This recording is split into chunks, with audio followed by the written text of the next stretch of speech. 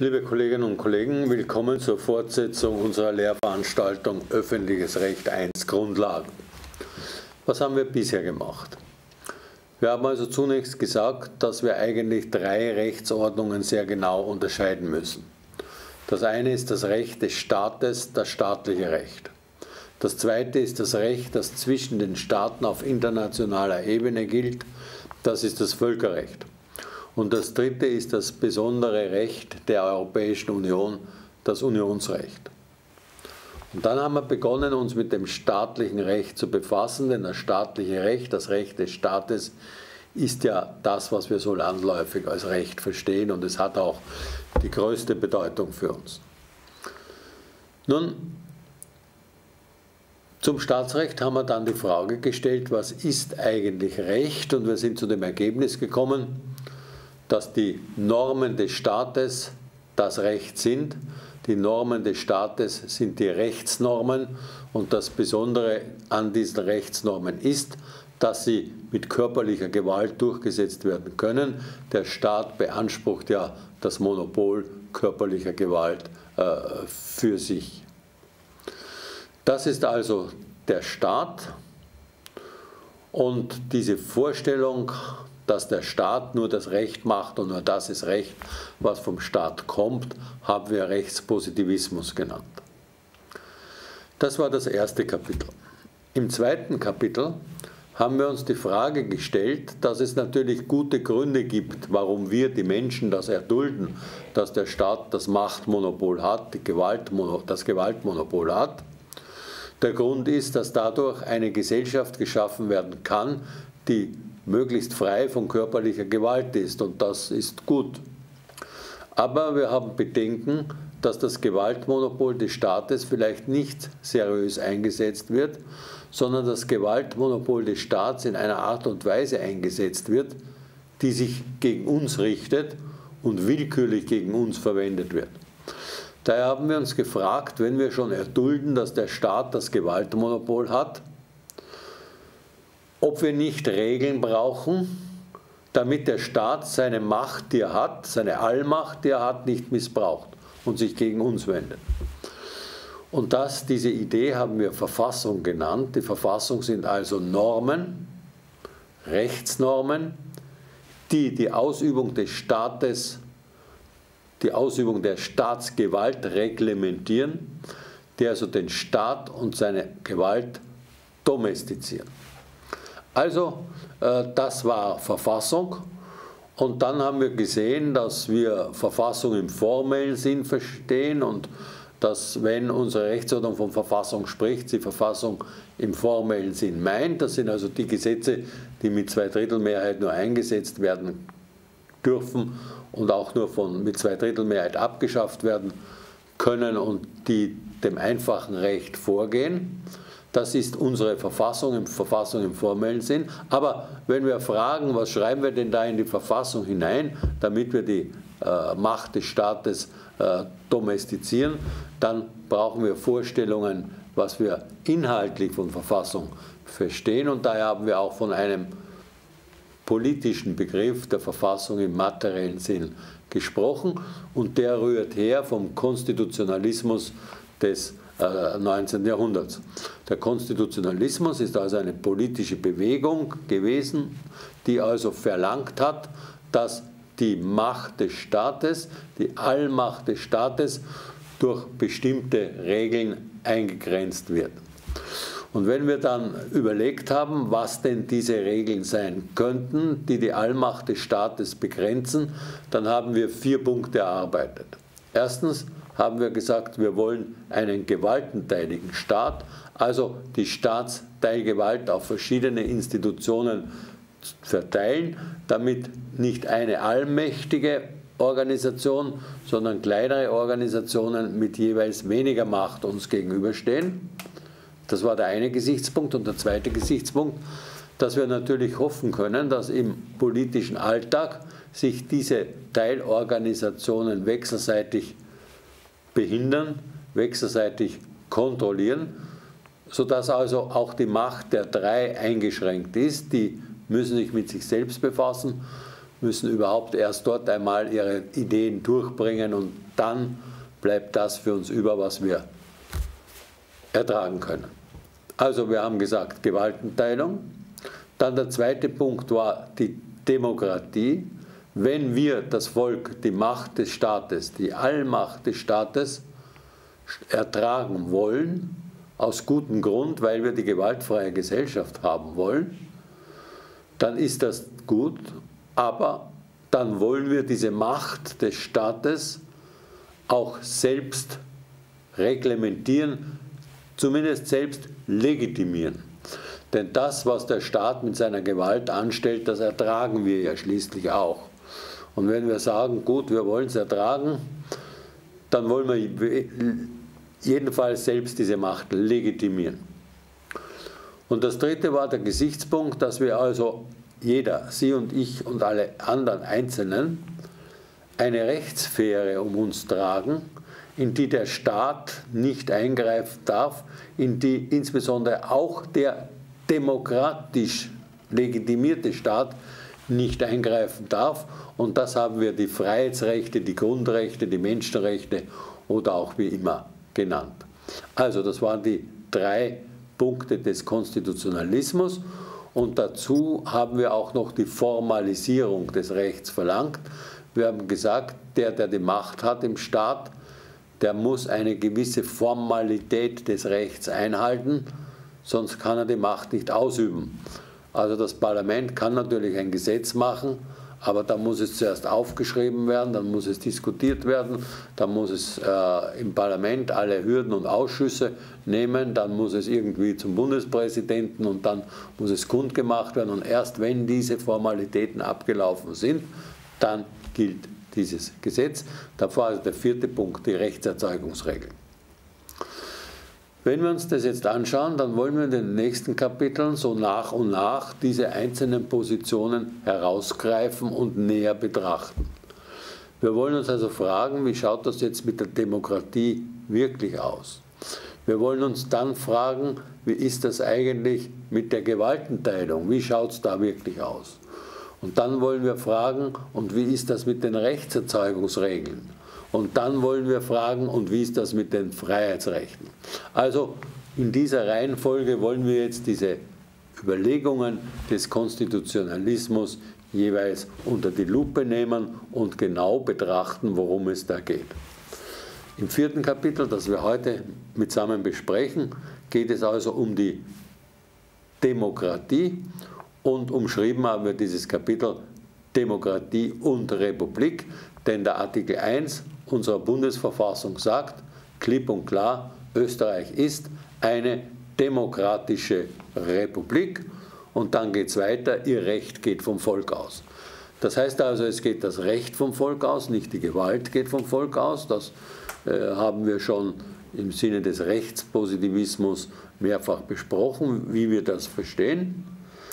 Und Chef ist das Volk, also wir sprechen von einer sogenannten Volkssouveränität, also oberster Machthaber ist das Volk und das bedeutet Demokratie. Die Legitimierung der Macht muss immer vom Volk äh, ausgehen. Wenn wir von Demokratie sprechen, dann äh, haben wir zwei Grundmodelle von Demokratie. Das eine, das würde also sehr puristisch Demokratie und Volkssouveränität bedeuten, heißt also, dass das Volk Entscheidungen trifft, alle Entscheidungen treffen muss, die von Bedeutung sind. Und wie kann das Volk Entscheidungen treffen? Durch Volksabstimmungen. Also es wird eine Frage oder ein Gesetzestext oder sonst etwas genommen und dem Volk zur Abstimmung vorgelegt und wenn die Mehrheit derer, die abstimmen, dafür ist, dann gilt es und wenn es keine Mehrheit gibt, dann gilt es nicht. Diese Form der Demokratie nennen wir die plebiszitäre Demokratie. Plebiszit ist die Volksabstimmung. Die indirekte Demokratie oder die mittelbare Demokratie, das sind alles entsprechende äh, äh, Synonyme. Also noch einmal, die plebiszitäre Demokratie ist dort, wo die Volksabstimmung stattfindet. Man hat kein Parlament und daher ist die plebiszitäre Demokratie die unmittelbare Demokratie oder die direkte Demokratie. Das Gegenstück, wo es über das Parlament geht, wäre dann die mittelbare und die indirekte Demokratie, um die Begriffe noch einmal klarzustellen. Ich glaube, ich habe sie vorher etwas verdreht. Also, plebiszitäre Demokratie, das Volk entscheidet selbst durch Volksabstimmung und zwar direkt, unmittelbar, ohne das Parlament zu brauchen. Alle Sachentscheidungen trifft das Volk. Nun, bevor wir das noch irgendwie würdigen wollen, äh, wollen wir feststellen, dass eigentlich kaum demokratische Staaten dieses Modell haben. Eine Ausnahme ist die Schweiz, einer unserer Nachbarstaaten. Und in der Schweiz gibt es tatsächlich die Variante, dass die haben zwar auch Parlament, aber wenn das Volk etwas will, kann es das entsprechend durch eine Volksabstimmung durchsetzen, auch ohne Mitwirkung des Parlaments und auch gegen den ausdrücklichen Willen des Parlaments. Und das ist dann die direkte Demokratie. In der parlamentarischen Demokratie hätte immer das Parlament die Macht und das letzte Wort. Das schließt also nicht aus, dass in der parlamentarischen Demokratie es auch Volksbefragungen, Volksbegehren, auch Volksabstimmungen gibt. Aber der entscheidende Punkt ist, ob es Volksabstimmungen nur dann gibt, wenn das Parlament das will. Und wenn es nicht will, gibt es das nicht. Die direkte Demokratie beginnt erst dort, wo das Volk ohne oder gegen den Willen des Parlaments eine entsprechende Volksabstimmung durchführen kann und diese Volksabstimmung auch äh, wirksam ist. Wenn wir nun fragen, welche Demokratie hat Österreich, dann sehen wir, dass das BVG, B-VG, das Bundesverfassungsgesetz, eine parlamentarische Demokratie eingerichtet hat. Also in Österreich gibt es ein Parlament, und damit eine parlamentarische, eine indirekte, eine mittelbare Demokratie. Die Bürger, Sie und ich, sind zwar die Souverän, der Souverän des Staates, aber in der mittelbaren Demokratie dürfen wir, Sie und ich, nichts entscheiden. Die Verfassung also sagt, das Volk trifft keine Sachentscheidung. Stattdessen darf das Volk Vertreter, Repräsentanten wählen und diese Repräsentanten treffen sich dann in einem Parlament und das Parlament beschließt dann die Sachentscheidung. Also es wird die Macht des Volkes, etwas zu entscheiden, an das Parlament delegiert. Das ist die mittelbare Demokratie, die parlamentarische äh, Demokratie, die indirekte Demokratie und dieses System hat Österreich. Also Österreich hat ein Parlament und in diesem Parlament werden die äh, Abgeordneten durch das Volk hinein äh, gewählt. Das heißt also, wir müssen uns näher anschauen, was denn das im Einzelnen bedeutet, dass wir eine parlamentarische Demokratie haben. Und das können wir uns hier anschauen. Wir haben also hier einmal das Parlament, es besteht aus Abgeordneten und die Abgeordneten werden durch das Volk ins Parlament gewählt. Dabei ist bemerkenswert, dass wir eine egalitäre Demokratie haben. Was bedeutet egalitäre Demokratie. Nun, die Macht äh, liegt beim Volk und das Volk kann Repräsentanten wählen, aber wie ist der Einfluss der einzelnen Menschen auf die Politik? Ist der gleich? One man, one vote, ein Mensch, eine Stimme? Oder sind die Stimmen gewichtet? Also Adelige zählen mehr, wer mehr Steuer zahlt, hat mehr Einfluss und andere Zensussysteme. Aktuell wird immer wieder diskutiert, Eltern, die mehr Kinder haben, sollen ein mehr Stimmrecht haben. Ja, das sind so Überlegungen. Das lehnt unsere Verfassung strikt ab. Es gibt eine egalitäre Demokratie. Die Menschen sind sehr unterschiedlich. Sie sind arm, sie sind reich, sie sind gescheit, sie sind dumm, sie sind Männer, sie sind Frauen, sie haben Bildung, sie sind ungebildet. Also sehr, sehr unterschiedlich sind die Menschen. Aber, und das ist auch so, das will niemand wegleugnen, in einer freien Gesellschaft gibt es auch diese Unterschiede. Aber im politischen, im staatlichen, im politischen Einfluss auf den Staat sind alle Menschen gleich, ob er schön ist, ob er hässlich ist, ob er reich ist oder arm ist, ob er adelig ist oder bürgerlich ist, äh, ob er intelligent ist oder dumm ist, das ist gleich. Jeder Mensch hat den gleichen politischen Einfluss auf den Staat. Das zeigt sich im Wahlrecht einerseits und andererseits in der Regel, dass jeder Mensch auch jedes politische Amt ausüben darf. Also, der Putzmann kann auch Finanzminister sein, ohne jedwede Ausbildung, Schule, Berufserfahrung oder sonst was. Das ist möglich. Es kommt nur darauf an, dass er das politische Vertrauen der Wähler hat. Wenn er das politische Vertrauen hat, dann ist er im Amt, ohne dass man sonst irgendetwas weiter hinterfragt. Das ist also egalitäre äh, Demokratie und es gibt wirklich sehr viele gute Gründe für eine egalitäre Demokratie.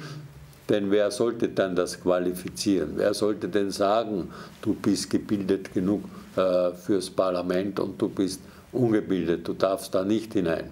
Gut, Schule, aber es gibt sehr viele intelligente Menschen, die keine Schule gemacht hat und es gibt auch absolute Trottel, die studiert haben. Also das ist nicht das Kriterium, mit dem eine egalitäre Demokratie äh, umgeht. Also, wir haben eine egalitäre Demokratie und wir wählen, das zeigt sich im Wahlrecht, wir wählen äh, das Parlament aufgrund ganz bestimmter Wahlgrundsätze. Wir wollen uns das jetzt einmal anschauen, welche Wahlgrundsätze wir denn für das Parlament haben. Wahlrechtsgrundsätze. Da haben wir mal ein allgemeines Wahlrecht. Ein allgemeines Wahlrecht besagt, dass also jeder wählen darf und gewählt werden äh, kann. Wir haben also ein sogenanntes aktives Wahlrecht, jeder darf wählen, das ist bei uns 16 Jahre. Und wir haben ein passives Wahlrecht, also man darf gewählt werden beim Parlament, beim Nationalrat muss man das 18. Lebensjahr vollendet haben. Also allgemeines Wahlrecht, jeder, aber historisch hat allgemeines Wahlrecht bedeutet insbesondere, dass Männer und Frauen gleichermaßen wählen dürfen. Denn erst mit der Republik ist durchgehend das Frauenwahlrecht eingeführt worden und das spiegelt sich immer noch historisch im Grundsatz des allgemeinen Wahlrechts. Dann haben wir ein gleiches Wahlrecht, das heißt, jede Stimme äh, wiegt politisch gleich viel. Das schließt nicht aus, dass es im Parlament ein paar so mehrheitsbildende Kriterien gibt, etwa eine 4%-Klausel. Und wer jemanden gewählt hat, eine Liste gewählt hat, die keine 4% äh, bekommt, der äh, hat seine Stimme natürlich äh, vertan. Es gibt kein politisches Gewicht aus dieser Stimme. Die Macht wächst den anderen Parteien zu. Aber er hätte ja auch eine wählen können, die hineinkommt. Und insofern ist das Wahlrecht gleich. Dann haben wir ein unmittelbares Wahlrecht. Das heißt, es müssen die Abgeordneten sich mit Gesicht dem Wähler stellen und der Wähler wählt diese mit dem Gesicht und er wählt nicht irgendwelche Gremien, die dann an seiner Stelle hier eine, äh, den Abgeordneten bestimmen. Also unmittelbares Wahlrecht, aber Wähler gibt seine Stimme ab und er muss erkennen äh, können, wen er wählt und der ist dann auch gewählt. Kein Dritter kann das verändern. Dann haben wir geheimes Wahlrecht, das heißt die Stimmabgabe erfolgt nicht offen, sondern in der Wahlzelle versteckt. Äh, das ist ein sehr interessanter Grundsatz. Äh, warum brauchen wir eigentlich ein geheimes Wahlrecht? Und die Antwort ist nicht sehr charmant. Äh, wir sind offensichtlich gesellschaftlich so schwach entwickelt, dass wir unsere Meinung nicht sagen trauen und dass uns die Menschen in dem Augenblick, in dem wir unsere Meinung sagen, sanktionieren. Und dann sind wir noch so beieinander, dass wir uns fürchten, von den Menschen sanktioniert zu werden. Und daher dieses Wahlrecht, damit der wirkliche Wählerwille hier herauskommt. Die Verhältnisse könnten natürlich auch so sein, dass es selbstverständlich ist, dass jeder sagen kann, äh, was er wählt und dass das auch jeder respektiert. Nun, wir sind weit davon entfernt, gesellschaftlich, und daher brauchen wir ein geheimes Wahlrecht. Dann gibt es ein persönliches Wahlrecht. Jeder muss also selbst sein Kreuzerl machen, kann nicht sich stellvertreten lassen. Und er muss selbst in die Wahlzelle kommen. Eine gewisse Durchbrechung oder Ausnahme, Ergänzung des persönlichen Wahlrechts ist die Briefwahl, aber das hat eine sonderverfassungsgesetzliche Grundlage. Und dann gibt es das freie Wahlrecht und freies Wahlrecht heißt, dass alle grundsätzlich zur Wahl antreten dürfen äh, insbesondere in der passiven Wahl. Sie dürfen sich der Wahl stellen und sie dürfen auch entsprechend Wahlwerbung treiben. Also, wir haben einmal sechs Grundsätze für die Wahl. Ein allgemeines Wahlrecht, ein gleiches Wahlrecht, ein unmittelbares Wahlrecht, ein geheimes Wahlrecht, ein persönliches Wahlrecht, ein freies Wahlrecht. Und jetzt kommt das siebte, das interessanteste, das wichtigste, das ist die sogenannte Verhältniswahl oder wie wir auch sagen, die Listenwahl. Wollen wir ein bisschen der Frage nachgehen, was Verhältniswahl oder Listenwahl äh, bedeutet. Nun, wir gehen davon aus, dass wir ein Parlament haben mit 183 Abgeordneten und dann müssen wir 183 Männer und Frauen finden, die halt als Abgeordnete im Parlament tätig sind. Und wie kommt es jetzt demokratisch zu diesen Abgeordneten? Wie erfolgt die Auswahl dieser Abgeordneten? Nun, ein Modell, das naheliegend wäre, würde lauten, gut, wir brauchen 183 Abgeordnete, daher teilen wir das Staatsgebiet in 183 Wahlkreise ein und in jedem Wahlkreis bewerben sich Männer und Frauen um den Posten des Abgeordneten. Und in jedem Wahlkreis wird dann einer gewählt, mit einfacher Mehrheit, relativer Mehrheit, wie auch immer, eventuell auch in zwei Wahlgängen. Aber aus jedem Wahlkreis kommt dann ein Sieger heraus. Und dieser Sieger ist dann der Abgeordnete in diesem Wahlkreis. Das wäre sehr logisch, setzt aber voraus, dass wir die Politik an die Person binden. Das heißt, wir sehen, der ist nett, sympathisch, vielleicht hat er auch gute Ideen und das gutieren wir und dann sagen wir, ja, den will ich haben. Daran hängt dann das politische Vertrauen.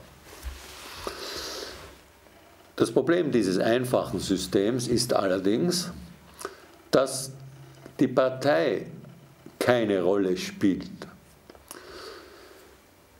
was die Partei will und ob der ein Parteiprogramm einhält oder sonstige Dinge, das spielt ja alles keine Rolle, weil er als Person steht zur Wahl.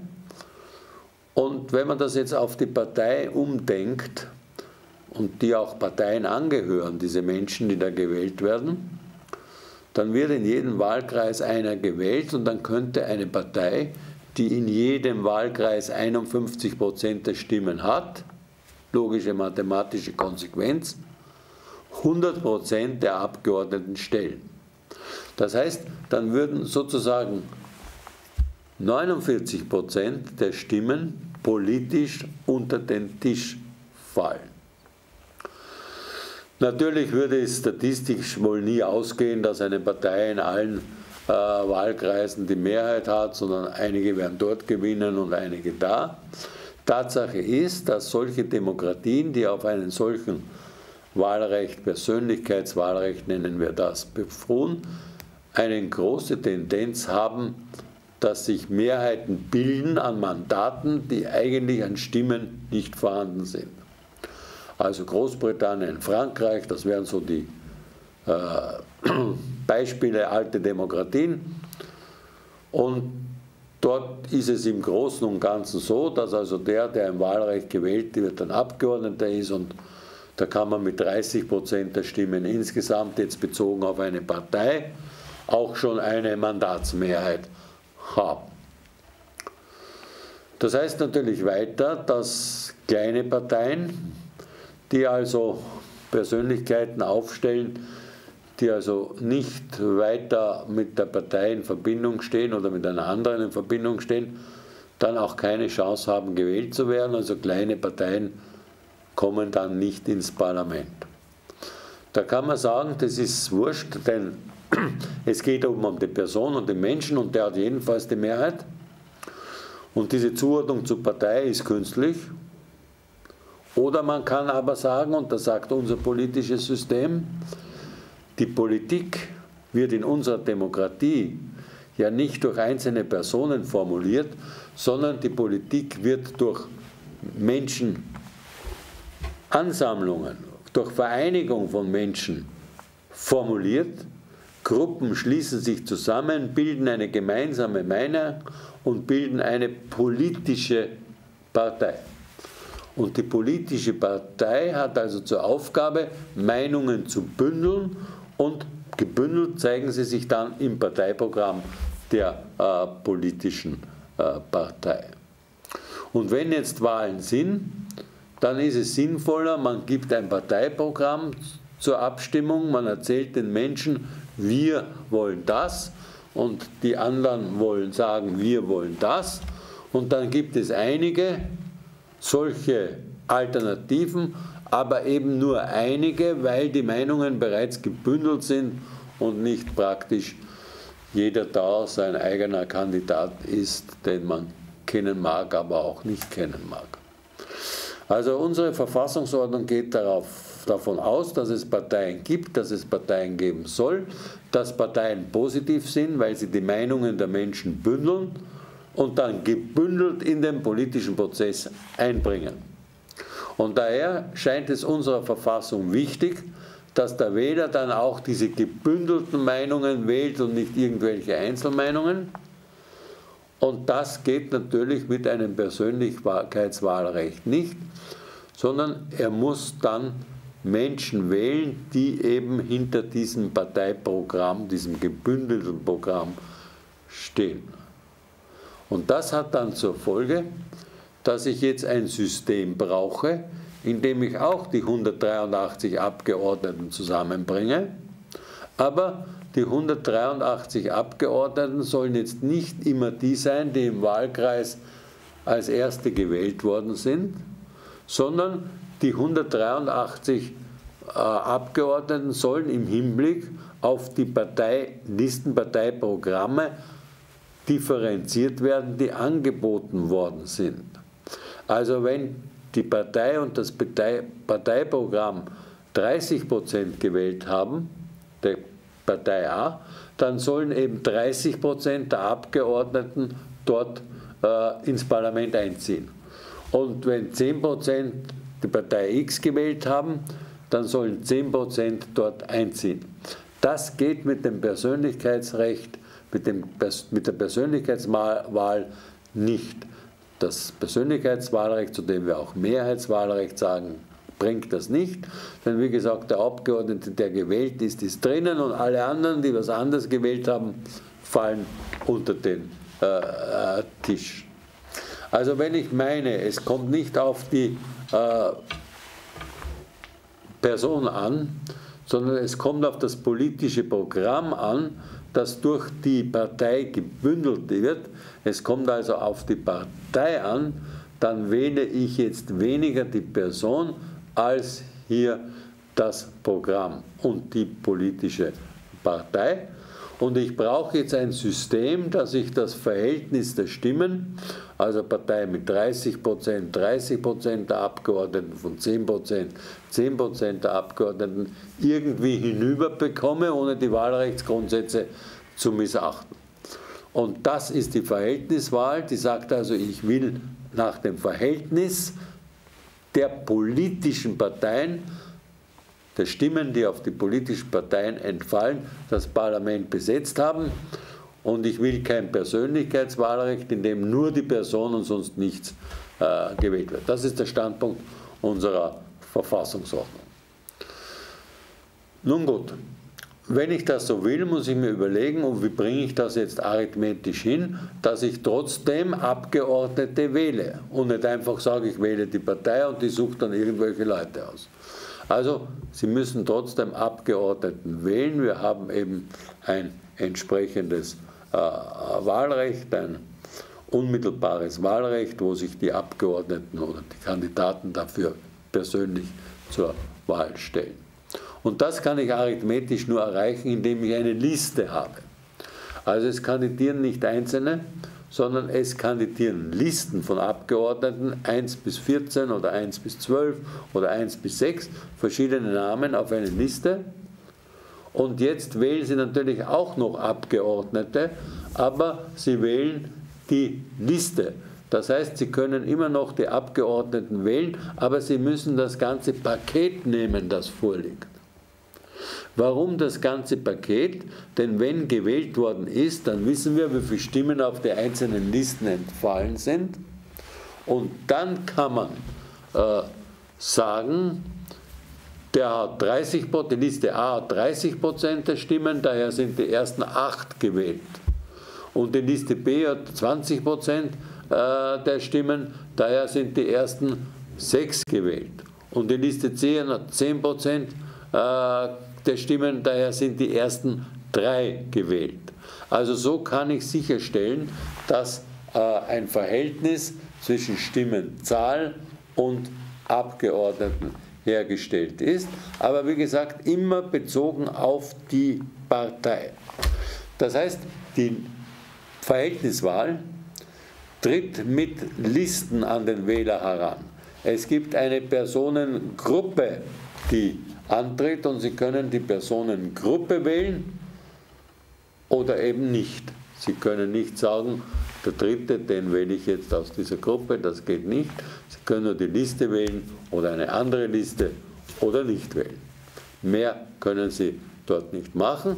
Dadurch haben wir eben die Möglichkeit, dass wir so ein äh, Verhältnissystem im Parlament haben. Für kleinere Listen ist das natürlich sehr Überlebensfrage, weil wenn eine Partei 10% der Stimmen hat, die würde wahrscheinlich in keinem einer Wahlkreis je über die 50% hinauskommen, die wäre also ganz draußen. Also wenn man das akzeptiert, dass die Politik nicht an der Person hängt, sondern die Politik an den politischen Parteien hängt, dann ist dieses System logisch. Der Nachteil ist für die Wähler, dass sie heute niemanden auswählen können persönlich, sondern die Liste nehmen muss, müssen.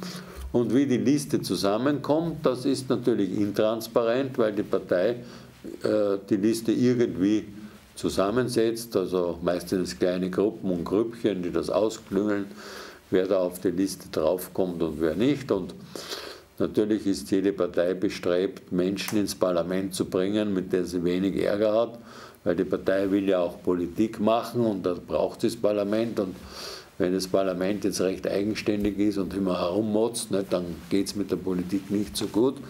Und daher haben die Parteien die Tendenz, sozusagen sehr genau darauf zu schauen, wer ins Parlament einzieht.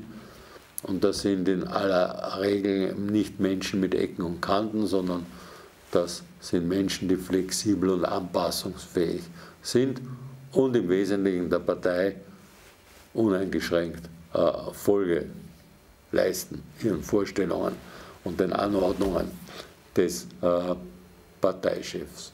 Und daher haben wir ein etwas langweiliges Parlament, es stimmen also immer die Fraktionen ab, ohne dass da irgendwelche Ausreißer gibt. Und naja, das ist eben der Preis für die Liste.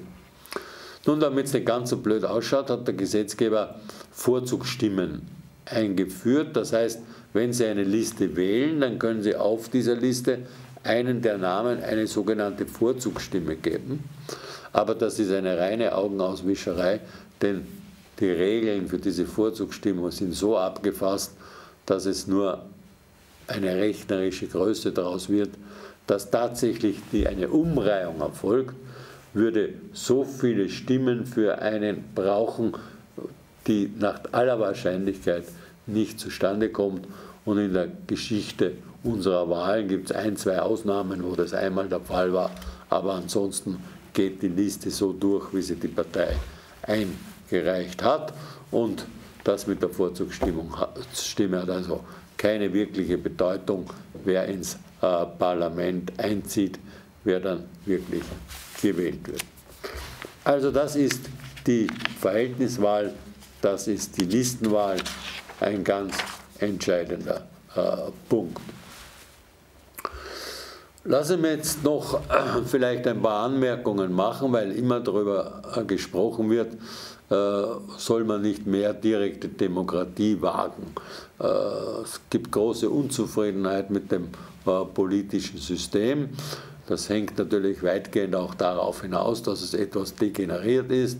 Also die Parteien suchen sich eben nur farblose Kandidaten fürs Parlament aus. Sie schauen sehr genau drauf, dass da nicht Leute hineinkommen, mit denen es schwierig äh, werden würde.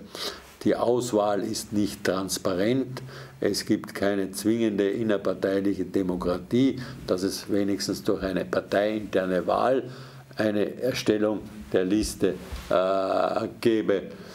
Dann sind die politischen Parteien natürlich äh, darauf ausgewählt zu werden. Die Idee der politischen Partei wäre aber, dass sie Meinungen in der Gesellschaft bündelt und diese Meinungen dann in einem gesellschaftlichen Dialog diskutiert und versucht, die Menschen davon zu überzeugen. Und wenn sie sie überzeugt hat, dann stellt sie sich der Wahl und hofft, dass die, die sie überzeugt hat, sie auch wählen.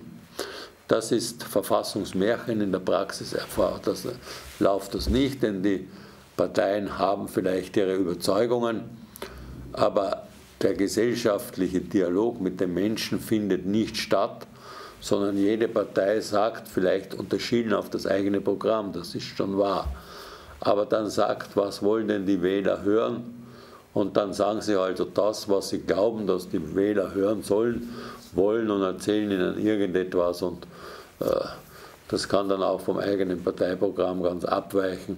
Wichtig ist nur, dass die Parteien gewählt sind. Also sie sind sehr interessiert an der Macht, an der gewählt zu werden, aber vorher mit der Gesellschaft darüber ordentlich zu diskutieren, das ist praktisch völlig verstummt, das findet nicht statt. Also auch da gibt es ein Unbehagen, weil dann sagt man, naja, die sind nicht glaubwürdig, also die erzählen uns irgendwas, weil sie glauben, dass wir das hören wollen und in Wahrheit denken sie ganz anders oder machen dann ganz anders, als sie uns vorher erzählt haben.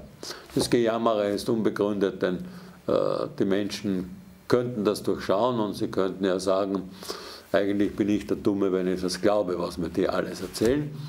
Und die große Hoffnung auf, in einer Demokratiereform besteht insbesondere darin, dass sich auch die Gesellschaft entwickelt, dass sich die Menschen äh, entwickeln, dass sich der Bildungsstandard entwickelt, dass die Abhängigkeiten in der Gesellschaft äh, geringer werden und dass die Menschen das sehr wohl werden unterscheiden können, ob das jetzt einigermaßen seriös gemeint ist von den politischen Parteien oder ob das nicht nur irgendwelche äh, Pseudopolitiken sind, die uns da angeboten werden in der Hoffnung, dass sich möglichst wenig darüber aufregen und möglichst viel das auch wählen.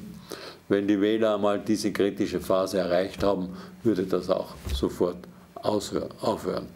Also es gibt Unzufriedenheit mit der Politik und daher wird immer unter dem Titel direkte Demokratie diskutiert, ob man nicht was verändern sollte. Dazu einige Anmerkungen. Punkt 1.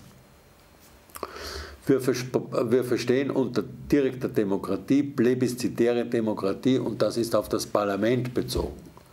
Das heißt, wenn ich eine direkte Demokratie will, dann sage ich, das Volk soll in einer Volksabstimmung auch ein Gesetz machen können, ohne Mitwirkung des Parlaments und sogar gegen den Willen des Parlaments. Damit fängt erst direkte Demokratie an. Wir sind weit davon entfernt nach unserer Verfassung. Wir haben zwar Volksbegehren und Volksbefragungen, auch Volksabstimmungen, aber die finden nur statt, insbesondere die Volksabstimmungen, finden nur statt, wenn das Parlament das will. Wenn das Parlament das nicht will, kann das Volk machen, was es will. Es kriegt keine Chance, eine verbindliche Meinung sagen zu dürfen. Und in der Geschichte der Republik hatten wir auch nur zwei Volksabstimmungen, weil das Parlament das so wollte, nicht gegen das Parlament. Das eine war das Kernkraftwerk Zwentendorf, das Volk hat es ganz knapp abgelehnt. Und das zweite war der Beitritt zur EU. Das Volk hat mit zwei Drittel Mehrheit den Beitritt äh, bejaht, aber sonst spielt sich mit den Volksbefragungen wenig ab, aber sie können auch stattfinden. Aber direkte Demokratie heißt, dass das Volk ohne und gegen den Willen des Parlaments etwas entscheiden darf. Gut, also direkte Demokratie bezieht sich aufs Parlament. Und dann gibt es manche, die sagen, die direkte Demokratie, das seien die Volksbegehren, die Volksbefragungen, die Volksabstimmungen, das habe ich schon beantwortet, das sollte man so nicht sehen denn solange nicht gegen den Willen des Parlaments etwas angeordnet wird, kann das keine äh, direkte Demokratie sein. Volksbegehren, Volksbefragungen und Volksabstimmungen in unserem System sind eine gewisse Mitwirkung des Volkes am parlamentarischen Geschehen, aber nicht mehr, jedenfalls keine direkte äh, Demokratie.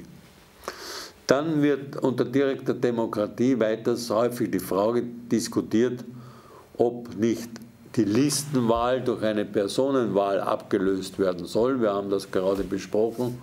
Oder zumindest ein Mischsystem oder sonst etwas eingeführt werden soll, damit die Menschen mehr Einfluss auf die Person des gewählten Abgeordneten haben. Vielleicht auch ein echtes Vorzugsstimmensystem, das also wirklich realistisch auch irgendetwas bewegen kann auf der Liste. Und das wird dann auch manchmal mit direkter Demokratie äh, bezeichnet. Sollte man auch nicht tun, denn direkte Demokratie ist plebiszitäre Demokratie. Hier geht es um die Auswahl der Abgeordneten und die kann also entweder erfolgen über eine Liste, dann habe ich ein Listenwahlrecht, oder sie erfolgt durch ein Persönlichkeitswahlrecht. Also ich will eine Personenwahl, eine Persönlichkeitswahl und man sollte dazu nicht direkte Demokratie sagen. Unter direkter Demokratie äh, wird auch manchmal gesehen, dass Staatsorgane außerhalb des Parlaments gewählt werden, so zum Beispiel Bürgermeister unmittelbar vom Volk. Und äh, das wird dann auch häufig als direkte Demokratie verkauft. Also das sollte es auch nicht, sondern da geht es um die Direktwahl von Staatsorganen außerhalb des Parlaments. Nicht mehr und nicht weniger. Der Begriff der direkten Demokratie ist der parlamentarischen Entscheidung äh, vorbehalten. Gut, soweit äh, zur Frage des Parlaments einschließlich der politischen Parteien. Bei den politischen Parteien könnte man vielleicht noch anführen, dass es auch eine sogenannte Wahlpartei gibt.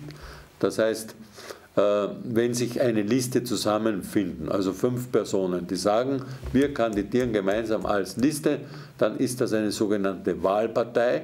Die sind nur beisammen auf dieser Liste, haben sonst rechtlich keinerlei Verbindung. Äh, das kommt manchmal vor bei Listen, bei Gemeinderatswahlen, also auf ganz unterer Ebene, bei Landtags- oder äh, Nationalratswahlen auf Bundesebene haben wir dieses Phänomen nicht. Da kandidieren eben nur echte politische Parteien und der Unterschied zur Wahlpartei ist, die Wahlpartei ist nur eine zusammengewürfte Liste von Personen, für diese einzige Wahl. Sie stellen sich gemeinsam der Wahl, während die politische Partei eine Organisation ist, die völlig unabhängig von Wahlen zunächst besteht. Sie will politische Meinungen bündeln und ihre politische Meinung dann umsetzen. Und dadurch bewirbt sie sich um Mandate, um die Macht im Staat, um mit Hilfe der Staatsgewalt, politisch legitimiert, dann die eigenen Ideen umsetzen zu können. Und das sollte natürlich auch sein, ist aber unbelichtet, unterbelichtet, dass eben die politische Partei versucht, in einem gesellschaftlichen Dialog Menschen von ihrer Meinung zu überzeugen. Setzt voraus, dass sie sich trauen, die Meinung herzuzeigen, setzt auch voraus, dass sie eine Meinung haben. Denn wenn ich nur mehr nach dem Willen der Wähler forsche, dann verschwindet die Meinung in der Partei völlig und das wird irgendein so ein Beliebigkeitsbrei, was ja auch häufig als Kritik an unserem politischen System gesagt wird. Also wir haben die politischen Parteien, das sind juristische Personen, die sind auf Dauer gegründet und stehen mit den Wahlen zunächst gar nicht in Zusammenhang. Natürlich, wenn dann Wahlen sind, dann kann diese politische Partei dort auch antreten und eine Liste einreichen. Dann stellen sich die politischen Parteien zur Wahl, aber es könnten auch bloße äh, Wahllisten, Wahlparteien dort auftreten. Die Gründung einer politischen Partei ist einfach. Äh, man muss eine Satzung beim Bundesministerium des Inneren, beim Bundesminister für Inneres hinterlegen. Der tragt sie dann ein in eine Liste und damit ist die Partei existent. Eine Personenmehrheit ist nicht erforderlich. Sie können also eine Satzung einschicken und der Parteichef und ein einziges Mitglied und ein einziger Fan sein. Sehr tolerant ist hier das Parteienrecht. Und daher gibt es auch äh, etwa 800 politische Parteien, die dort eingetragen sind.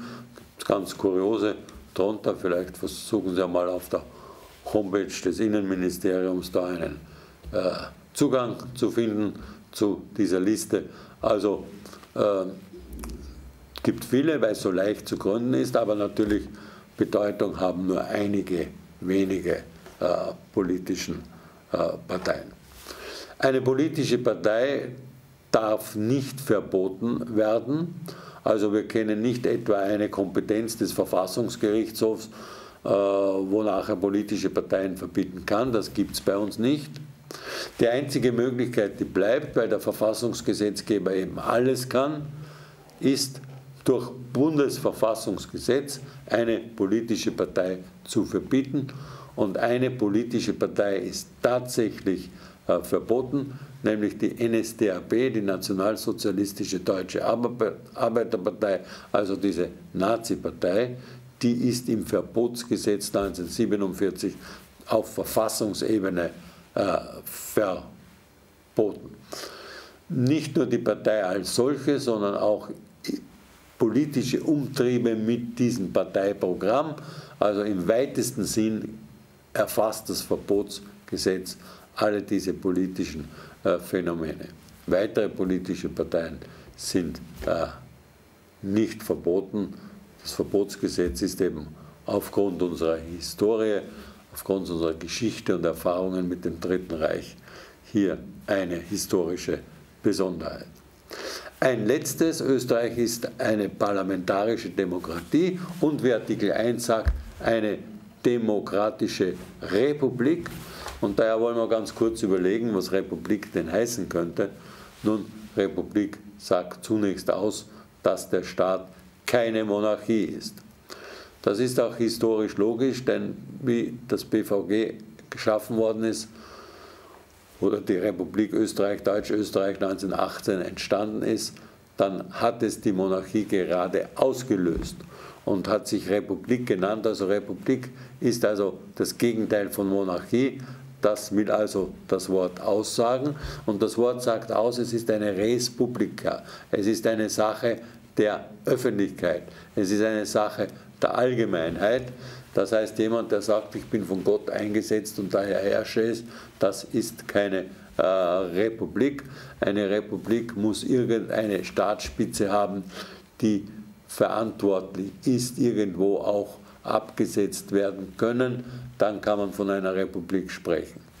Republik ist nicht zwingend Demokratie, denn Verantwortlichkeiten können auch irgendwo in Systemen drin sein, ohne dass das Volk wirklich die Souveränität hätte. Denken Sie an China, also China ist äh, ein Staat, der äh, durch ein Einparteiensystem regiert und beherrscht wird. Also das ist beileibe kein, keine Republik. äh, Entschuldigung, keine Demokratie, aber China ist eine Republik, weil es eben doch irgendwelche, ein Parteiensystem zwar, aber doch irgendwelche Verantwortlichkeiten äh, gibt und äh, weil äh, China eben kein absoluter Herrscher vorhanden ist, der niemanden Rechenschaft schuldig wäre. Also Republik und Demokratie passt gut zusammen, ist auch so in Österreich, aber staatstheoretisch müsste es nicht sein. Es gibt auch Republiken, die keine Demokratien sind. Soweit also das Fach Demokratie aus den Forderungen des Konstitutionalismus. Wir haben uns jetzt angeschaut, wie denn das jetzt im Einzelnen mit der Demokratie in Österreich aufgrund des Bundesverfassungsgesetzes und anderer Verfassungsgesetze bestellt ist. Vielen Dank fürs äh, Zuhören und äh, im nächsten Kapitel werden wir dann ein anderes Fach öffnen. Da geht es dann um den gewaltenteiligen Rechtsstaat. Auf Wiedersehen.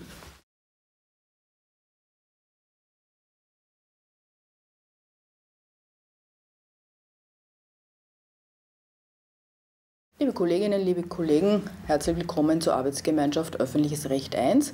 Wir befassen uns also heute mit dem vierten Kapitel, mit dem Parlament und mit der Republik. Bei mir ist wieder Herr Professor Binder, den ich begrüßen darf. Gott. Zunächst äh, ein paar Fragen zur parlamentarischen Demokratie und zur egalitären Demokratie. Erstens, Demokratie bedeutet Volksherrschaft. Das Volk hat die Volkssouveränität. Das Volk bestimmt die Ausübung der Staatsgewalt. Das ist so richtig. Zweitens, es gibt verschiedene Demokratiemodelle, wie das Volk die Herrschaft in, einer, in einem demokratischen Staat ausübt. Die plebiszitäre Demokratie und die parlamentarische Demokratie. Das sind also richtigerweise diese beiden Varianten einer Demokratie. Drittens, statt parlamentarische Demokratie sagen wir auch repräsentative Demokratie oder direkte Demokratie.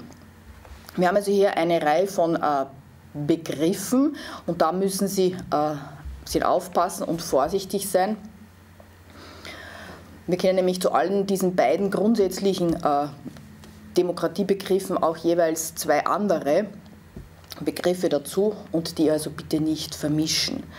Wenn wir also von parlamentarischer Demokratie sprechen, dann meinen wir die repräsentative Demokratie oder die indirekte Demokratie, nicht die direkte Demokratie. Ja, direkte Demokratie wäre die plebiszitäre Demokratie. Daher hier ein Fehler drinnen. Viertens, in der parlamentarischen Demokratie schließt die Verfassung das Volk von den Sachentscheidungen aus. Das Volk wählt in regelmäßigen Abständen Vertreter in ein Parlament, die dann als Volksvertreter die Sachentscheidungen für das Volk treffen. Das stimmt so. Ja, wir haben ja im, äh, zum dritten Kapitel auch schon einmal einen Blick geworfen in den Artikel 1 BVG, wo es heißt, das Recht geht vom Volk aus. Tatsächlich ist es aber so, dass nicht wirklich das Volk äh, womöglich ins Parlament fährt und dort Gesetze macht, sondern das machen Vertreter, die Volksvertreter eben. Ja, das Volk darf wählen, wählt sich seine Abgeordneten, seine Volksvertreter und die machen dann für das Volk eben die Sachentscheidungen im Staat. Das ist parlamentarische äh, Demokratie. Österreich ist dann eben auch eine egalitäre Demokratie. Egalitäre Demokratie bedeutet, dass das demokratische Prinzip der Verfassung das wichtigste ist, alle anderen Rechtsnormen des Staats äh, im Vergleich dazu egal sind. Ja, also das können Sie sich leicht vorstellen. Daher kommt dieser Begriff der egalitären Demokratie nicht, dass andere äh, Rechtsnormen egal wären. Egalitäre Demokratie bedeutet eben, dass allen äh, das gleiche politische Gewicht zukommt und hier keine Vorrechte, nach welchen Kriterien auch immer, äh, Platz greifen. Österreich ist eine plebiszitäre Demokratie, weil die Bundesverfassung die Möglichkeit von Volksabstimmungen vorsieht. Äh, die Bundesverfassung sieht jetzt tatsächlich die Möglichkeit von Volksabstimmungen vor. Eine plebiszitäre, also eine direkte Demokratie wird Österreich dennoch nicht. Wir wissen ja, wir sind eine parlamentarische Demokratie, haben wir vorher schon erörtert. Ja. Wir schicken die Volksvertreter ins Parlament, die machen dort die Sachentscheidungen im Staat, nicht das Volk selbst. Und daran ändert auch die Tatsache nichts, dass es Volksabstimmungen gibt, weil Volksabstimmungen kann auch nicht das Volk von sich aus initiieren und das Volk kann nicht gegen hier äh, das Parlament, gegen die Volksvertreter hier irgendwelche Erfolgssachentscheidungen äh, durchsetzen. Daher äh, wird zwar gerne gesagt, die Volksabstimmung ist also ein direkt demokratisches Element, aber trotzdem werden wir also zu keiner plebiszitären Demokratie, weil eben noch einmal die Sachentscheidung bleibt beim Parlament, beim Volksvertreter in der Volksabstimmung nach BVG kann das Volk nur entscheiden, ob ein Gesetzesbeschluss äh, in Kraft gesetzt werden soll oder nicht. Das ist alles. Die Bundesverfassung kennt neben Volksabstimmungen, von denen war jetzt schon die Rede, das wissen wir schon, dass die wirklich gibt, kennt auch Volksbegehren und Volksbefragungen. Das äh, stimmt auch.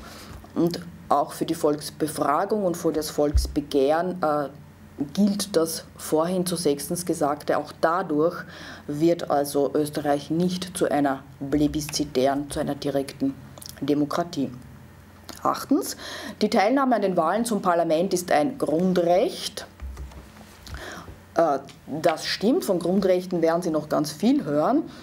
Grundrecht heißt erstens, es ist ein subjektives Recht, also etwas, das ich auf dem Rechtsweg durchsetzen kann, und heißt zweitens, es steht in der Verfassung. Da werden wir dann bei anderen Fragen auch noch einmal nachschauen, wo denn das stehen könnte. Steht also im BVG. Äh, neuntens, es gibt ein aktives und ein passives Wahlrecht. Passives Wahlrecht ist das Recht, in einem demokratischen Staat durch Stimmabgabe an einer Wahl teilzunehmen. Aktives Wahlrecht ist das Recht, bei einer Wahl zu kandidieren und gewählt äh, zu werden. Das klingt zwar alles ganz plausibel, allerdings äh, ist es deswegen falsch, weil es genau umgekehrt ist. Ja, also aktives Wahlrecht ist das Recht, bei einer Wahl äh, eben hinzugehen, seine Stimme abzugeben ja, an der Wahl teilzunehmen. Und das passive Wahlrecht ist das Recht, sich auch einer Wahl zu stellen, sich also wählen zu lassen, gewählt zu werden, als Kandidat äh, anzutreten. Das ist passives Wahlrecht. Dann zu den Wahlrechtsgrundsätzen der österreichischen Bundesverfassung. Zehntens. In der parlamentarischen Demokratie ist das Parlament die Volksvertretung. Es besteht aus Abgeordneten, die das Volk nach bestimmten Wahlrechtsgrundsätzen wählt. Ja, das haben wir schon gehört. Wir sind eine parlamentarische Demokratie.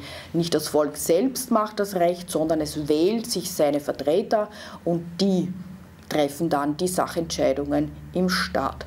Und diese Wahl der Volksvertreter, der Abgeordneten, die erfolgt eben nach bestimmten Grundsätzen und die nennen wir Wahlrechtsgrundsätze. Elftens, das BVG schreibt unter anderem die Wahlrechtsgrundsätze für die Wahl der Parlamente fest. Wahlrechtsgrundsätze sind das allgemeine Wahlrecht, das gleiche Wahlrecht, das unmittelbare Wahlrecht, das geheime Wahlrecht, das persönliche Wahlrecht, das freie Wahlrecht und die Verhältniswahl. Wir haben also eine Auflistung der Wahlrechtsgrundsätze der Bundesverfassung und wir sollten also jetzt herausfinden, ob das tatsächlich alles Wahlrechtsgrundsätze des BVG äh, sind und das stimmt und das müssen Sie jetzt auch nicht unbedingt auswendig wissen, sondern wir können nachschauen. Wir schauen also etwa in den Artikel 26 BVG und Sie werden sehen, dort stehen alle diese Wahlrechtsgrundsätze tatsächlich drinnen. Die Teilnahme an den Wahlen zu den Parlamenten ist ein politisches Grundrecht das stimmt auch. Das Grundrecht, das haben wir schon gehört. Ja. Wir können es auf dem Rechtsweg durchsetzen und es ist eben ein politisches Grundrecht in dem Sinn, dass ich an, äh, teilhaben kann an der staatlichen Willensbildung. Also äh, in der Verfassung verankert und subjektives Recht durchsetzbar auf dem Rechtsweg. Jetzt noch einige Fragen um diese, Sie haben ja gesehen, es ist eine ganze Reihe von Wahlrechtsgrundsätzen, die wir im Artikel 26, unter anderem in dem Artikel 26 BVG finden, um also ein bisschen äh, herauszufinden, was bedeuten alle diese Wahlrechtsgrundsätze. 13. eben zum allgemeinen Wahlrecht bedeutet, dass jeder Staatsbürger eventuell Unionsbürger ohne Unterschied des Geschlechts, der Religion, der Klasse, der Steuerleistung an einer Wahl teilnehmen darf. Ja, das ist richtig. Das ist allgemeines Wahlrecht. 14. Im Sinn des allgemeinen Wahlrechts erreichen alle österreichischen Staatsbürger, die spätestens am Wahltag das 18. Lebensjahr vollendet haben, das aktive und das passive Wahlrecht zum Nationalrat. Dann äh, schauen wir doch mal nach, wo das äh, Wahlrecht zum Nationalrat tatsächlich verankert ist in der Bundesverfassung. Ich habe es vorhin schon erwähnt, das ist der Artikel 26. Und im Artikel 26 heißt es, der Nationalrat wird vom Bundesvolk aufgrund, und dann finden Sie diese schöne Aufzählung der Wahlrechtsgrundsätze, äh, die aller Staatsbürger ja, nach diesen Grundsätzen, die am Wahltag das 16. Lebensjahr vollendet haben, also aktiv wahlberechtigt ist man mit dem vollendeten 16. Lebensjahr nach Artikel 26 Absatz 1 BVG, äh, wenn es um die Wahl des Nationalrats geht. Äh, das 18. Lebensjahr, von dem hier die Rede ist, äh, spielt aber auch eine Rolle. Und zwar finden wir das 18. Lebensjahr im Absatz 4 des Artikel 26 BVG. Und dort geht es allerdings um die Wählbarkeit, also dort geht es um das passive Wahlrecht. Das heißt, kandidieren können Sie zum Nationalrat erst mit dem 18. Lebensjahr. Das heißt, wenn Sie ein Abgeordneter werden wollen, dann müssen Sie das 18. Lebensjahr vollendet haben. Um wählen zu können, um Ihre Stimme abgeben zu dürfen bei der Wahl zum Nationalrat, reicht es, wenn Sie das 16. Lebensjahr vollendet haben und eben österreichischer Staatsbürger sind. Ja, also falsch, weil hier das 18. Lebensjahr nicht gleichermaßen für das aktive und passive Wahlrecht gilt, sondern nur für das passive. 15. Gleiches Wahlrecht bedeutet, dass jeder Staatsbürger etwa bei der Wahl zum Nationalrat eine Stimme abgeben darf. Niemand darf ausgeschlossen werden. Dass das falsch ist, das ist uns schon klar aufgrund der Antwort zu 13. Das, was hier steht, meint das allgemeine Wahlrecht. Ja? Keiner darf ausgeschlossen werden, jeder darf seine Stimme abgeben. Das ist allgemeines Wahlrecht, aber nicht gleiches Wahlrecht. 16. Das gleiche Wahlrecht ist Ausdruck der plebiszitären Demokratie. Dass das falsch ist, haben wir auch schon gehört. Äh, gerade parlamentarische Demokratie braucht das Parlament, braucht also die Wahl der Parlamentarier, der Abgeordneten. Das hat also mit dem gleichen äh, Wahlrecht und plebiszitärer Demokratie nichts zu tun.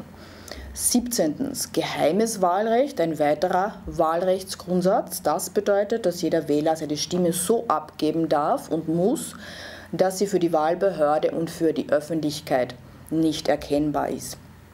Das ist richtig. Das ist also die Idee des geheimen Wahlrechts, dass man hier wirklich auch frei sein soll in seiner Wahlentscheidung, dass weder die Öffentlichkeit noch die Wahlbehörde, die ja im Wahllokal anwesend ist, hier erkennen kann, zuschauen kann, wie sie stimmen, wo sie ihr Kreuzchen bei der Wahl machen.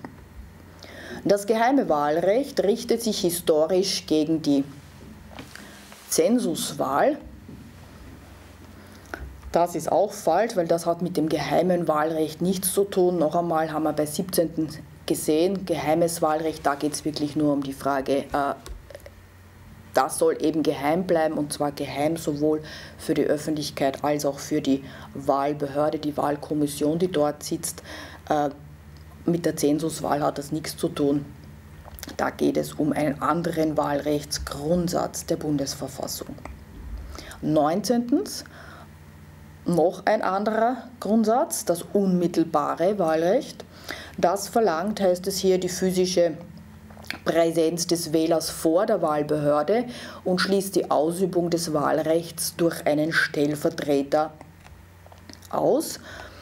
Äh, Das ist falsch, das ist aber ein relativ beliebter Fehler, den Studierende machen, weil man immer meint, ja, unmittelbar, da muss ich wirklich unmittelbar dort sein. Das ist aber ein Missverständnis. Das, was hier steht, das meint in Wahrheit das persönliche Wahlrecht. Das heißt, ich muss persönlich da sein, ich muss präsent sein vor der Wahlbehörde, im Wahllokal grundsätzlich. Das ist persönliches Wahlrecht, nicht unmittelbares Wahlrecht.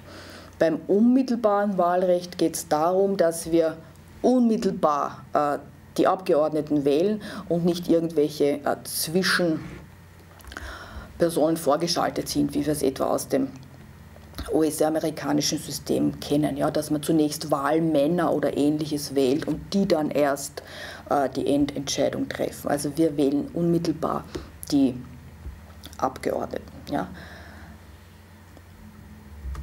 Kurz zum persönlichen Wahlrecht. 20. bedeutet, dass die Kandidaten einer Wahl unter ihrem eigenen Namen und nicht anonym für ihre Partei kandidieren müssen.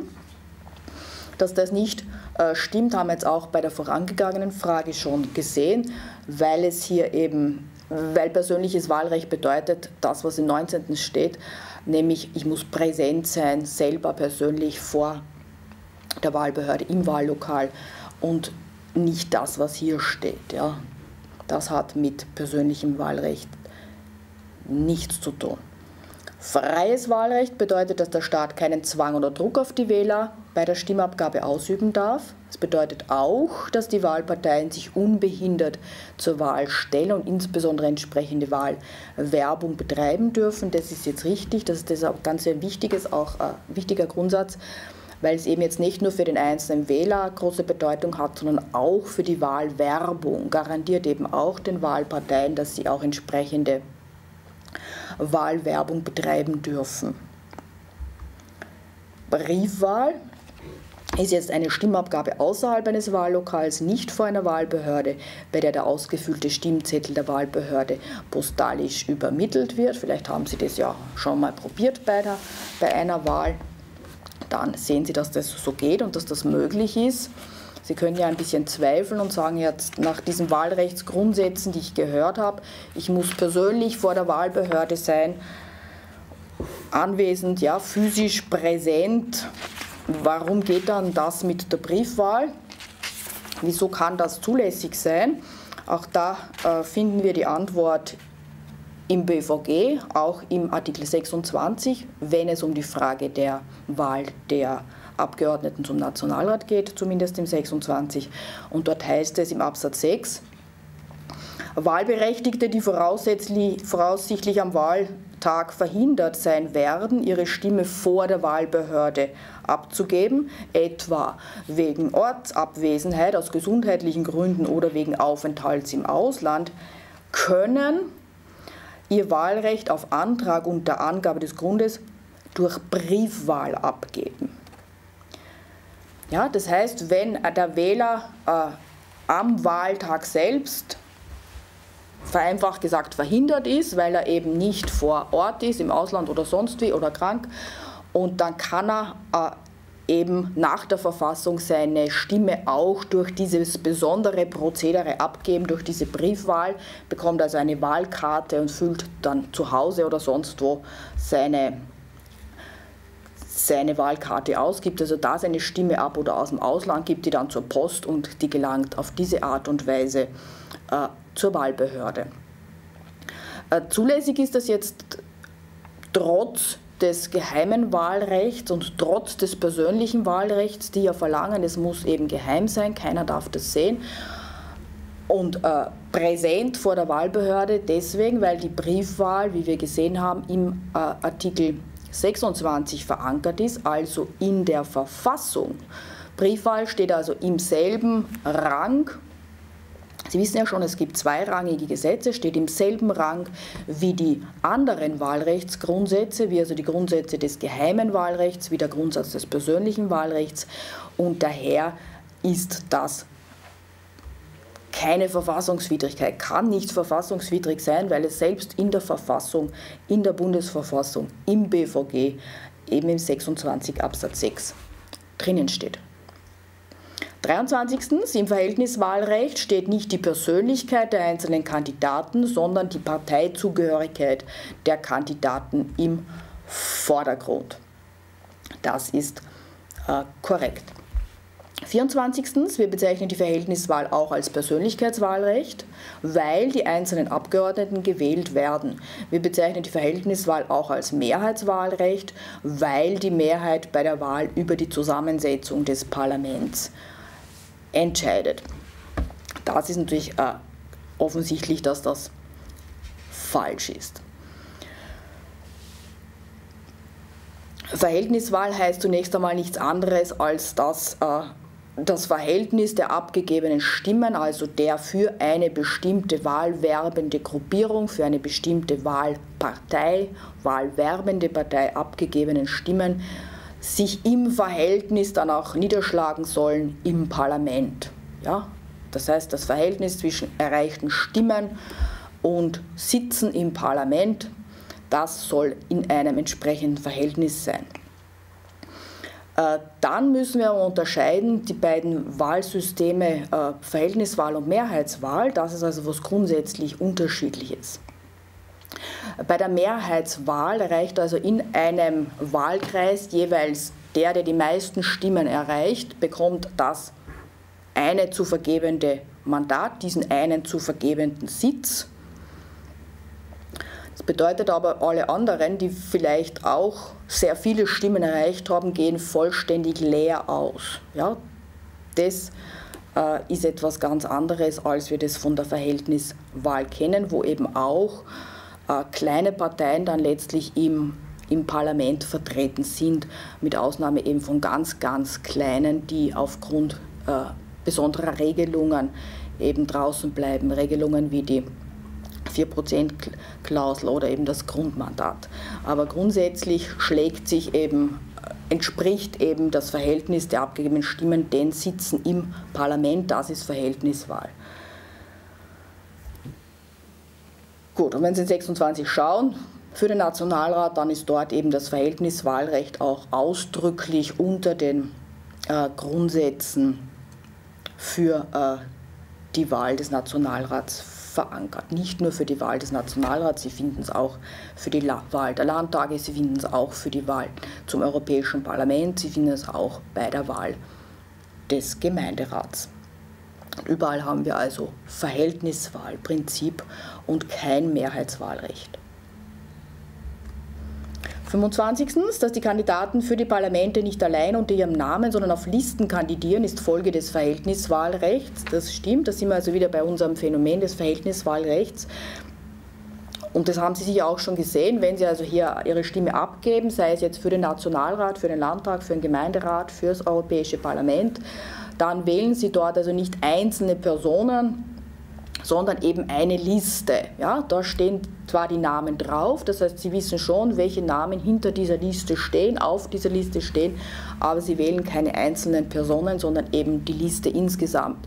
Wenn Ihnen da einzelne Personen drauf nicht gefallen, dann müssen Sie sich entscheiden, ob Sie diese Personen so schrecklich finden, dass Sie dann die ganze Liste nicht mehr wählen können und sich für eine andere entscheiden oder sonst müssen Sie diese Menschen drauf auf der Liste einfach äh, schlucken und das ignorieren. Also die ganze Liste ja oder nein mit allen Namen, die hier auch draufstehen, sozusagen als Paket. Sie können nur ins insofern ein bisschen was an dieser Reihenfolge, diese äh, kandidierenden Personen auf einer Liste stehen ja in einer bestimmten Reihenfolge. Sie können ein bisschen was daran verändern, indem Sie Vorzugsstimmen vergeben.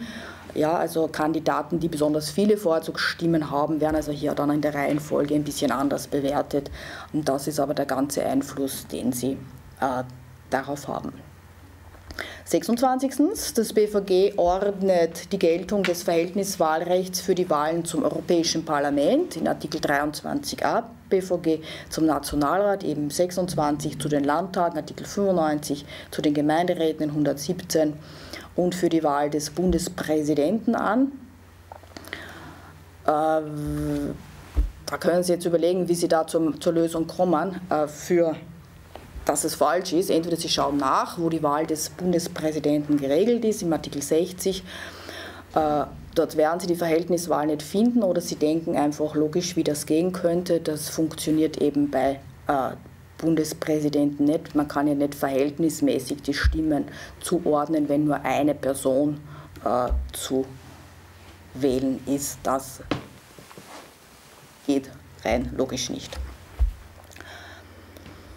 Dann noch einmal zum aktiven, passiven Wahlrecht. Dass es so eins gibt, das wissen wir schon. Das aktive Wahlrecht ist das Recht zu wählen, bei einer Wahl seine Stimme abzugeben. Das haben wir auch schon gehört, das ist richtig. Das verfassungsgesetzlich gewährleistete aktive Wahlrecht zum Nationalrat ist in Artikel 26 Absatz 1 und Absatz 5 BVG äh, verankert. Äh, Artikel 26 Absatz 1 BVG haben wir uns schon angeschaut. Dort ist also das aktive Wahlrecht zum Nationalrat tatsächlich verankert. Hier steht jetzt Absatz 5 noch dabei. Was finden wir im Absatz 5? Im Absatz 5 ist noch die Rede von sogenannten Wahlausschlussgründen. Das heißt, ausnahmsweise wegen bestimmter äh, Verurteilungen kann man vom Wahlrecht auch ausgeschlossen sein, sodass hier auch im Absatz, Absatz 5 auch zu berücksichtigen ist, wenn man sich das aktive Wahlrecht ganz genau ansieht. 28. Der Wähler wählt bei den Wahlen zum Nationalrat eine Liste, auf der mehrere Personen kandidieren. Einer auf der Liste aufscheinenden Person kann er zudem eine Vorzugsstimme geben. Diese Vorzugsstimme wirkt sich allerdings bei der Verteilung der Mandate auf die Kandidaten der Liste nicht aus. Das habe ich auch vorhin schon kurz erwähnt. Das Gegenteil ist der Fall. Äh, wir können also bei der Wahl zum Nationalrat konkret äh, drei Vorzugsstimmen vergeben. Also wenn der Wähler das möchte, wenn nicht, dann nicht. Kann auch nur eine vergeben oder nur zwei. Das Maximum sind eben drei Vorzugsstimmen und diese Vorzugsstimmen, die eben der einzelne Kandidat auf den Listen sammelt, die wirken sich dann aus auf die Reihenfolge, das heißt auch dann auf die konkrete Verteilung der Mandate also auf die Verteilung der Sitze im Parlament. Ja, dass da keine Missverständnisse entstehen. Die Vorzugsstimme wirkt sich aus, wenn der Kandidat entsprechend viele Vorzugsstimmen hat. Allerdings hat das Gesetz äh, das arithmetisch so gestaltet, dass es praktisch nie vorkommt, dass irgendjemand durch entsprechende Vorzugsstimmen aus in seiner Liste vorgereiht werden könnte. Das findet praktisch nicht statt. Die gesetzlichen Hürden sind viel zu hoch. Und der Grund dafür ist, dass die politischen Parteien eben gar keine Freude haben, wenn der Wähler jetzt hergeht und ihre schönen Listen durcheinander äh, bringt.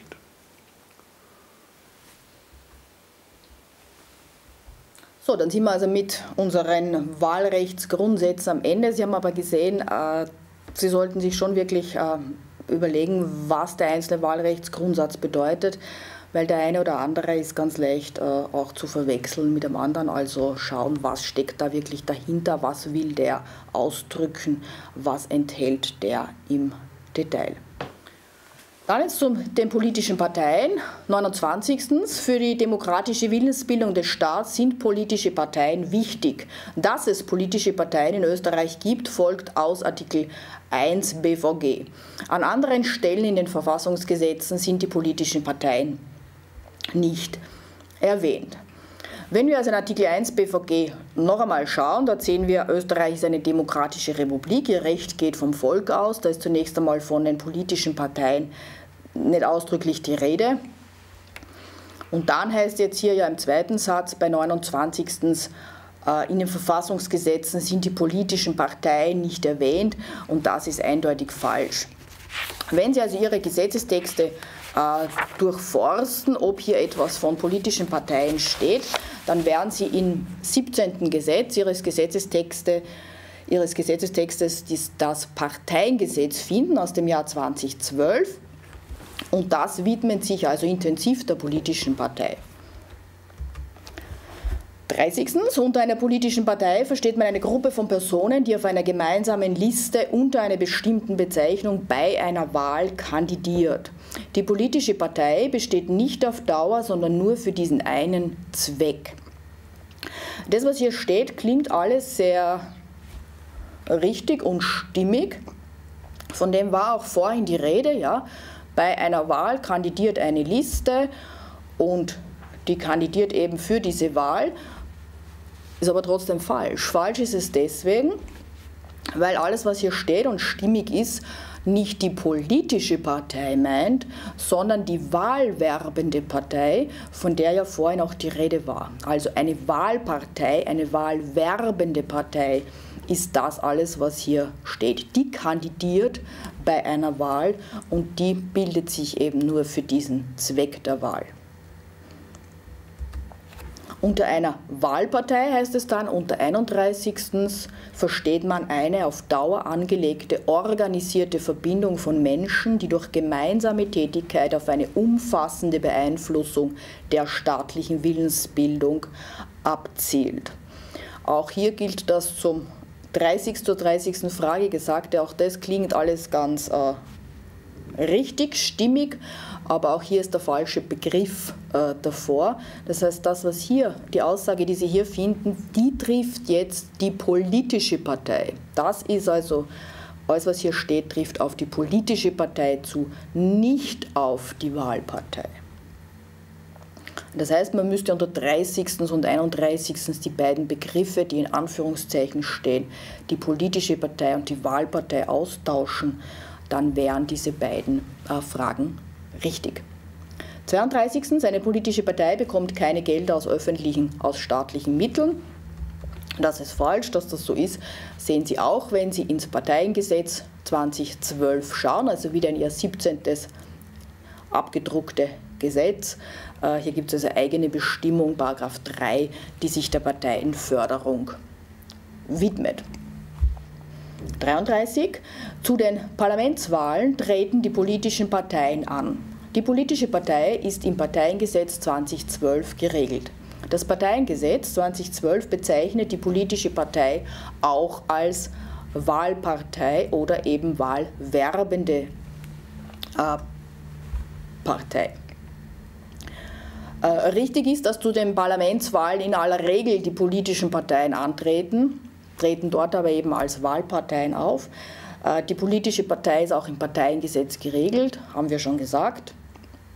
Aber das Parteiengesetz bezeichnet die politische Partei nicht als Wahlpartei, äh, ganz im Gegenteil. Äh, das Parteiengesetz selbst enthält, wenn Sie sich den Paragraph 2 anschauen, sogar für beide Phänomene eine Definition.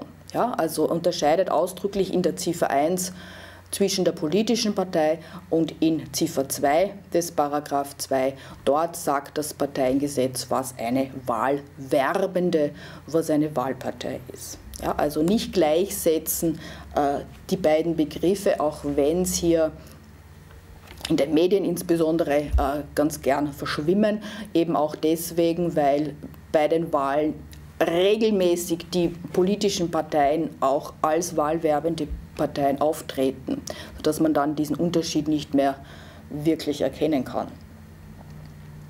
Äh, auseinanderhalten müssen wir es eben dennoch, weil eben, äh, wie wir gesehen haben an diesen Definitionen vorhin oder Sie auch noch einmal nachlesen können im Parteiengesetz in Paragraph 2, äh, das eine auch auf Dauer eingerichtet ist, eine Rechtsperson ist, die politische Partei, die wahlwerbende Partei hingegen nicht. 34. Der Verfassungsgerichtshof kann eine politische Partei, deren politische Ziele mit der Verfassung nicht übereinstimmen, auf Antrag des Parlaments verbieten. Die Bundesverfassung selbst verbietet im Verbotsgesetz politische Parteien mit dem Ziel der NSDAP, Nationalsozialistische Deutsche Arbeiterpartei. Das ist falsch.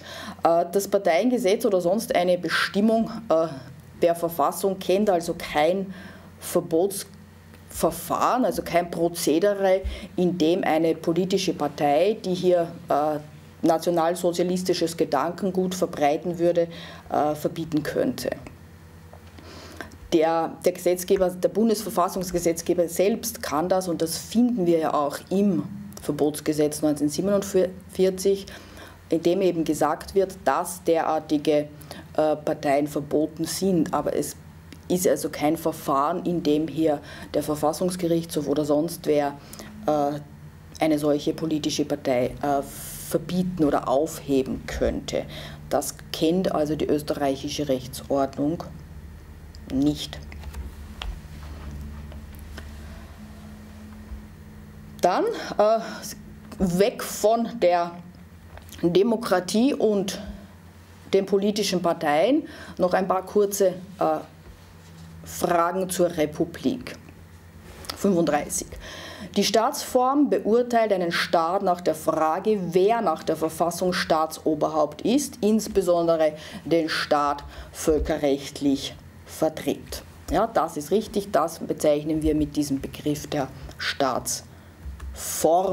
Staatsform eines Staats kann etwa die Monarchie, die Republik oder die Demokratie sein. Mit Monarchie, Demokratie haben wir schon viel jetzt bisher zu tun gehabt. Allerdings die Demokratie ist jetzt keine Staatsform. Ja, noch einmal zurück zu 35. Dort sehen Sie ja, bei der Staatsform geht es um die Frage, wer ist Staatsoberhaupt?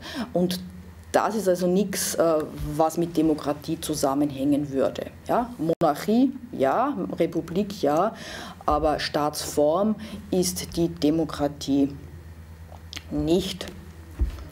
37. Äh, jeder Staat hat ein Staatsoberhaupt. Für die Republik ist typisch, dass das Staatsoberhaupt für seine Amtsführung verantwortlich ist. Das Staatsoberhaupt einer Republik bezeichnen wir in der Regel als Präsident.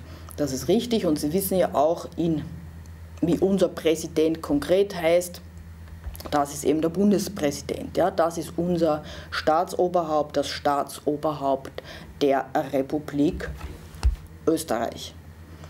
38. Der Gegenentwurf zur Monarchie ist die Demokratie.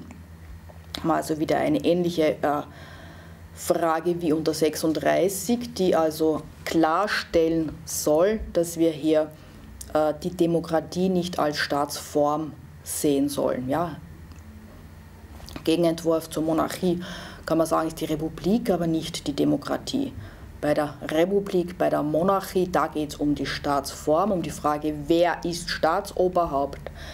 Äh, um diese Frage geht es aber eben bei der Demokratie nicht. 39. Die Forderung des Konstitutionalismus des 19. Jahrhunderts war die Republik. Sie wurde in der Dezemberverfassung 1867 äh, verwirklicht.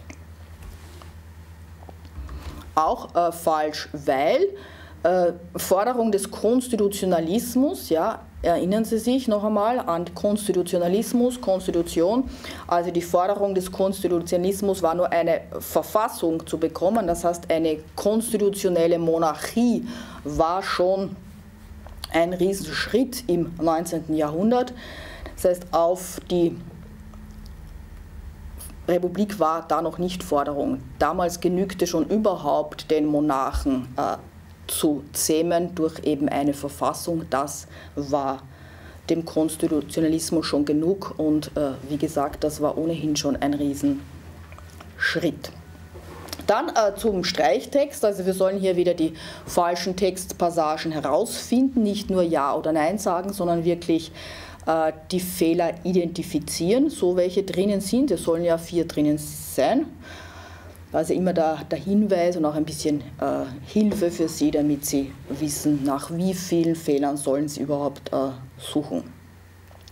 Österreich ist, ist eine demokratische Republik. Ein Blick in den Artikel 1 zeigt uns, dass das stimmt. Ihr Recht geht vom Volk aus. Auch da reicht ein Blick in den Artikel 1 BVG, dass wir sehen, dass es stimmt. Wie die Schweiz ist Österreich eine plebiszitäre Demokratie. Das haben wir gehört, äh, dass wir das gerade nicht sind. Wir sind keine plebiszitäre Demokratie, wir sind eine parlamentarische Demokratie. Wir wählen das, den, die Abgeordneten, unsere Volksvertreter, die schicken wir ins Parlament, die treffen für uns, für das Volk die Sachentscheidungen. Also keine direkte Demokratie, sondern eine parlamentarische, eine indirekte ist anders als die Schweiz, Österreich. Wir sagen zur plebiszitären Demokratie auch äh, direkte Demokratie, noch einmal, um hier diese Begriffe ein bisschen in den Griff zu bekommen. Das stimmt also. Ja? Plebiszitäre ist die direkte, parlamentarische ist die indirekte, repräsentative. Das politische Leben wird von den politischen Parteien bestimmt, das ist auch richtig. Jeder kann eine politische Partei frei gründen. Ob das so ist, schauen wir ins Parteiengesetz. Wir haben ja vorhin gesehen, in diesem Gesetz sind die politischen Parteien äh, geregelt. Ja, und da heißt in 1 Absatz 4, die Gründung politischer Parteien ist frei, sofern bundesverfassungsgesetzlich nichts anderes äh, bestimmt ist. Ist also richtig. Äh, sofern bundesverfassungsgesetzlich nicht anderes bestimmt ist, wir wissen auch schon, wo bundesverfassungsgesetzlich etwas anderes bestimmt ist, nämlich im Verbotsgesetz 1947. Wenn wir also eine politische Partei gründen wollen mit den äh, Zielen der NSDAP, dann ist das verboten wegen des äh, Verbotsgesetzes 1947. Ansonsten ist aber Gründungsfreiheit einer politischen Partei nach diesem Paragraph 1 Absatz 3 äh, des Parteiengesetzes 2012 und dieser Paragraph 1 des Parteiengesetzes ist ja eine Verfassungsbestimmung, also eine Bundesverfassungsbestimmung.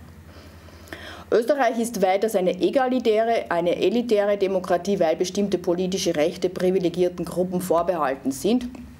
Äh, Sie haben gehört, ich habe es schon richtig gelesen, obwohl es falsch dasteht.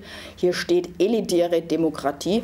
Das sind wir selbstverständlich nicht. Wir sind eine egalitäre Demokratie, das ist nicht dasselbe. Äh, elitär meint ja geradezu äh, bevorzugte Gruppen. Ja? Und das gerade will die egalitäre äh, Demokratie äh, nicht. Die politischen Rechte sind geradezu nicht privilegierten Gruppen vorbehalten. Also aufpassen und sorgfältig und präzise äh, lesen. So kann nur Finanzminister werden, wer Wirtschaftswissenschaften studiert hat. Das mag uns sinnvoll erscheinen, dass der Finanzminister auch etwas von den Wirtschaftswissenschaften verstehen sollte. Äh, die egalitäre Demokratie setzt das aber nicht voraus. Ja, es kann auch jemand anderer Finanzminister werden, der gar nichts von Finanzen versteht und der auch nicht studiert hat.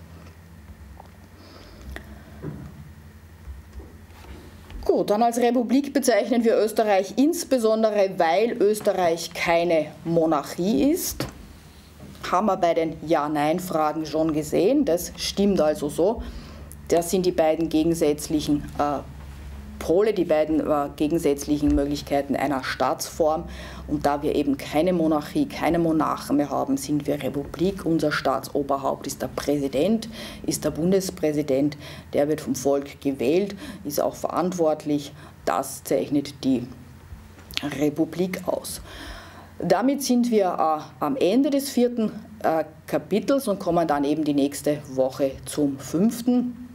Äh, Sie haben jetzt gesehen bei diesen ersten vier Kapiteln, wir besprechen jetzt nicht alle Fragen mit Ihnen.